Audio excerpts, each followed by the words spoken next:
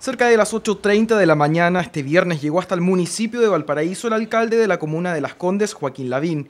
Para muchos una visita inesperada, sin embargo su proyecto de instaurar viviendas sociales en un sector consolidado de Las Condes lo acercaron a su par de la ciudad puerto, Jorge Charp.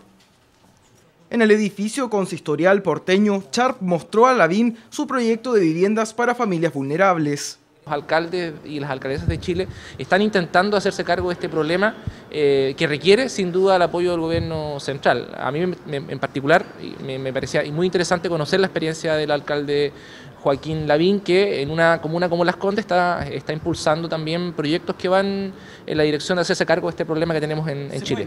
El alcalde de Las Condes también destacó los beneficios de este tipo de proyectos e hizo referencia a otros países que han instaurado este tipo de políticas.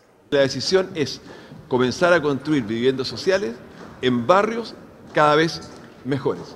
Y eso probablemente va a ir unido a cambios también en los planos reguladores y en los incentivos al, sector privado. En otros países ya está ocurriendo que al sector privado se le da incentivos para que pueda construir con una mayor densidad a lo mejor, pero que un porcentaje de las viviendas que construya tiene que entregarlas como viviendas sociales.